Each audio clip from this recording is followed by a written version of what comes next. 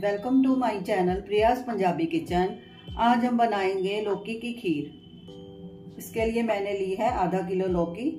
अब हम इसे छील कर इसको कद्दूकस कर लेंगे। लौकी को मैंने छील लिया है, अब मैं इसे कद्दूकस करूँगी।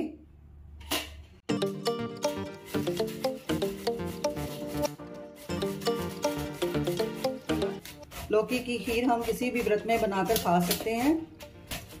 खाने में बहुत ही टेस्टी लगती है और लौकी जो वैसे भी हमारे शरीर के लिए बहुत ही फ़ायदेमंद है।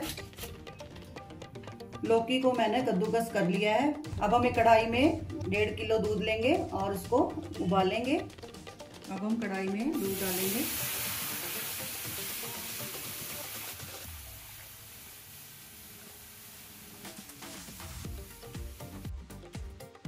हमने कच्चा दूध लिया है, इसलिए हम इसे दो तीन उबाल आने तक उबालेंगे। फिर इसमें हम लौकी ऐड करेंगे। दूध में दो तीन उबाल आ गए हैं, अब मैं इसमें लौकी डालूँगी।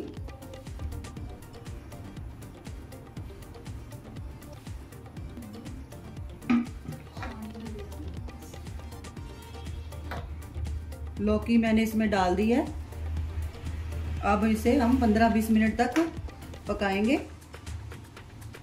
अब हम इसमें इलायची पाउडर डाल देंगे। अगर आपको कोई और टेस्ट पसंद हो तो आप कोई और भी फ्लेवर ऐड कर सकते हो। खीर को पकते हुए 15 मिनट हो गए हैं और दूध भी काफ़ी गाढ़ा हो चुका है। अब हम इसमें चीनी डालेंगे। मैं इसमें एक कटोरी चीनी डालूँगी। हमने डेढ़ लीटर दूध लिया था, इसलिए एक कटोरी चीनी लगेगी। आप अगर कम मीठा खाते हैं तो थोड़ा कम ऐड कर सकते हैं।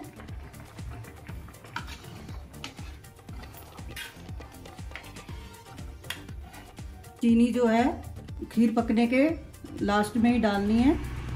चीनी को शुरू में नहीं डालना। अगर हम कोई भी खीर बनाते हैं, चावल की या लौकी की या कोई और भी तो चीनी को हमेशा बाद में ही डालना चाहिए। अगर हम पहले डाल देंगे तो इससे हमारी खीर जो पकने में बहुत टाइम लगेगा। खीर में ड्राई फ्रूट डालने के लिए हम ड्राई फ्रूट को पहले थोड़ा सा रोस्ट कर लेंगे। इसके लिए मैंने एक चम्मच देसी घी लिया है।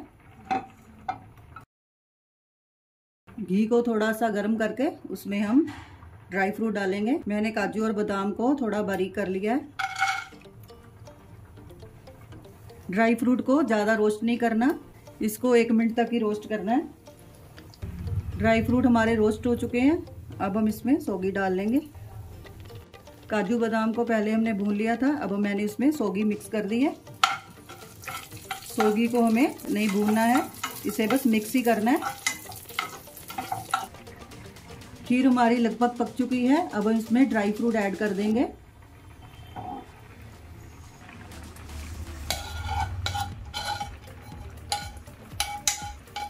ड्राई फ्रूट को देसी घी में रोस्ट करके जो खीर का टेस्ट है, बहुत अच्छा आएगा। खीर हमारी बनकर तैयार हो चुकी है। ये बहुत ही गाढ़ी हो चुकी है। ऐसे रबड़ी जैसी बन गई है। बिल्कुल अच्छे से इसमें लौकी घुल चुकी है। ये खीर बहुत ही स्वादिष्ट बनती है। हम गैस को बंद कर लेंगे। अब मैं रबड़ीदार स्वादिष्ट लौकी की खीर को सर्व करूँगी। आप अगर इस खीर को ठंडी करके खाएँगे तो ये बहुत ही स्वादिष्ट लगेगी। अगर आपको मेरी वीडियो पसंद आई हो तो प्लीज़ वीडियो को लाइक करें। मैंने और भी बहुत सारी टेस्टी रेसिपीज़ बनाई हैं। आप उन्हें भी ज़रूर देखें और मेरे चैनल को सब्सक्राइब करना ना भूलें। Thank you